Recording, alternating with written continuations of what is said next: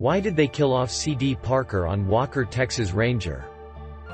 Noble Willingham, who worked steadily as a supporting actor over the last 30 years and left his role as a saloon owner on the series Walker, Texas Ranger to run for Congress, has died. He died of natural causes, according to the Riverside County Coroner's Office. He played barkeep C.D.